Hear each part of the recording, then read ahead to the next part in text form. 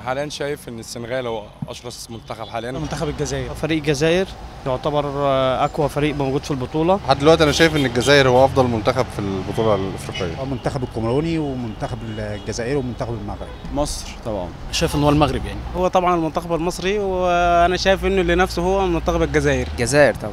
يعني الوقت اللعيبة بتاعتهم أحسن من في الدورة اللي فاتت دي اللعيبه م- كويسة واللعيبة محترمة و طريقة لعبهم يعني الهجمات بتاعتهم كويسة؟ هم بيلعبوا كرة جماعية الفريق بتاعهم متكامل المدرب بتاعهم تحس إن ليه دور ليه خطة في الملعب بتتنفذ في طريقة هو متفقين عليها.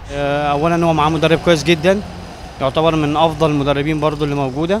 يعني حاسس إن هو فريق منسجم مع بعضه فريق متكامل. يعني بيفكرني بالمنتخب المصري سنة 2008 كان الفريق كله على بعضه كشكل واحد كده يعني فريق قوي. أداء حلو ماتش فاهم الأول ماتش حلو تمام آه، خطة جميلة تمام تشكيلة حلوة. أداء متميز. المغرب أداء قوي وفريق منظم جدا.